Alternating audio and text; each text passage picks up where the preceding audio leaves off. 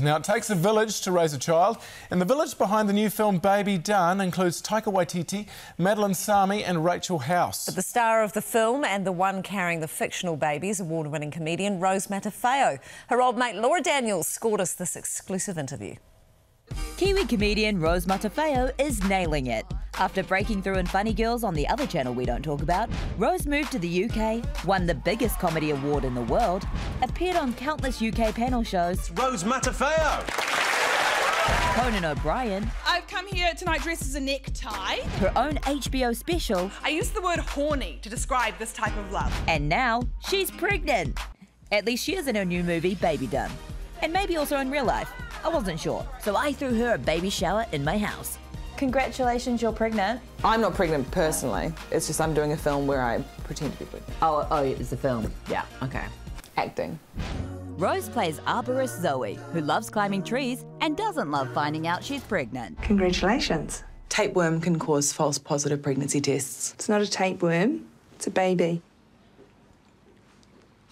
Oh my god! And she freaks out. And she wants to do all the things that she wanted to do before she has the baby, before the baby comes. What is something you think you're going to regret not doing? I regret not doing drugs.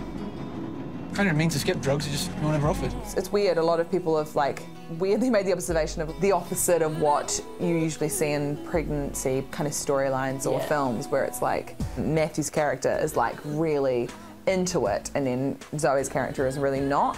That's like kind of rarely seen. Like a lot of women feel like that when they get pregnant, and that's never like shown on screen. Should we get married? No. you nearly got me then. That was good. So Sophie and Curtis, who wrote and directed the film, they often had their kids on set.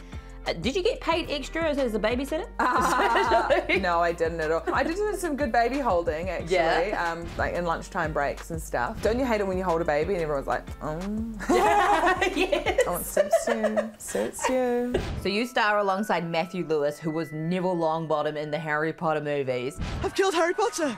Can you tell me, when you were watching those movies 18 years ago, did you ever think that one day you'd be doing a fake sex scene with him? No, I did not. I met him at 14 when I went and saw, met him at Armageddon Expo, got his autograph. What did he say?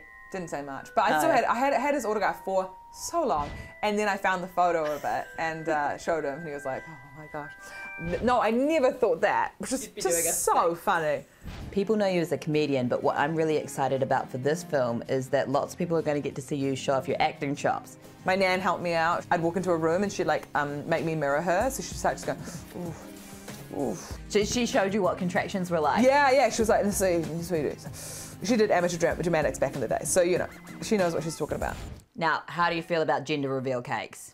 I find them utterly bizarre, Pink. but I have a feeling that this is one, yeah, because it's got a question mark on it. I've always wanted to stab a cake before. Wow! oh my god! This means, It's an Oscar! means so much.